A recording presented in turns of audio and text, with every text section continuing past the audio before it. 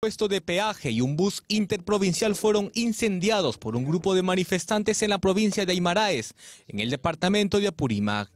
Este nuevo acto violento se desencadenó tras un enfrentamiento entre varios comuneros de las localidades de Izcahuaca, Quilcacasa y Pampachiri, quienes venían acatando este paro convocado a nivel nacional. Tras esta gresca, cinco personas resultaron heridas, por lo que fueron conducidos hasta el hospital Guillermo Díaz. Similar situación se vivió en la ciudad de Puerto Maldonado, donde los protestantes, luego de movilizarse por las principales arterias de la ciudad, agredieron a dos policías cuando se encontraban custodiando la zona. En Tingomaría, los manifestantes bloquearon la vía a la altura de Pacota. Según informaron, había dos bloqueos en esta zona.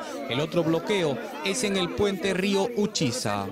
Luego de varias horas la policía llegó al lugar para despejar la vía y dispersar a las personas que bloqueaban la carretera.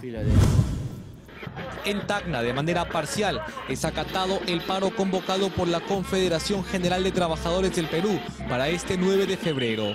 Algunos mercados cerraron sus puertas en apoyo a la medida que exige la renuncia de la presidenta Dina Boluarte, cierre del Congreso y nuevas elecciones.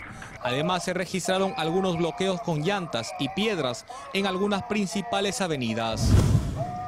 Por otro lado, diversos gremios como construcción civil, operación de transportes, mercados, marcharon en los alrededores de la Plaza de Armas de Arequipa de forma pacífica.